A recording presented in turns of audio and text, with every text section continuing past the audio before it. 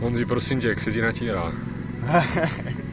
je to super, je tady pohodička, máme tady všechno, co potřebujeme, občerstvení, pití, dobrou hudbu, co, co chci přát, no, ne, no co je dneska, čtvrteční odpoledne. Saša, Saša vás pozval správce, přišli jste se čtyřma krukama. Je to asi dobrý odreagování, ne? O prázdninách. Je to určitě dobrý odreagování, hlavně to tady bude trošku víc vypadat k světu a už, už to tady trošku chytne tu fotbalovou atmosféru. Jak se těšíš na start sezóny? Na start sezóny se těším hodně, protože jsem dlouho nehrál a uh, doufám, že, doufám, že ten start sezóny nějak klapne a že do toho vůbec naskočím. Měl zdravotní výpadek, nebo bylo tam zranění.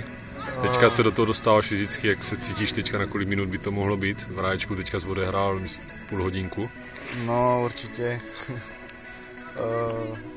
mohlo by to být lepší fyzicky, ale uh, je potřeba trénovat a postupně se do toho dostat. A, uh, za chvilku snad bych mohl zvládnout těch 70-80 minut, to vidím tak na poločas, protože nemám natrénovaný a uh, je potřeba teďka v létě začít běhat.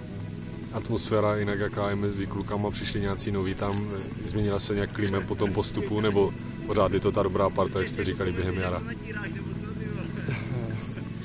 tak parta je tady pořád dobrá, já myslím, že kluci, kteří přišli noví, si sedli a uh, v kabině není žádný rušivý element a to je podle mě hlavní na, na, na, na té fotbalové atmosféře tady a všichni se těší na novou sezónu a jsme zvědaví, jak to dopadne. Honzo, díky a co teda v sezóně daří a hlavně, ať jsi zdravotně fit. Dobře, díky.